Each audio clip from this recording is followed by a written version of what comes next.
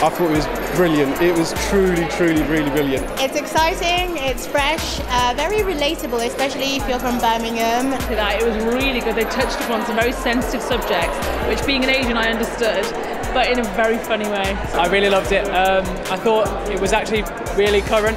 I think it's one of the funniest things I've ever seen, and in fact, it probably is the funniest play I've ever seen. I love the the Mama G, the old the old dear.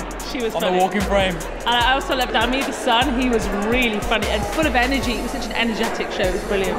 I thought it was amazing and very shocking and controversial in certain areas, but really important what it says right at the end without giving away spoilers. Just amazing would be my words, basically. I mean, I've not watched a theatre production in quite some time, and the fact that I had cultural references that I could so deeply relate to was just great. It was brilliant.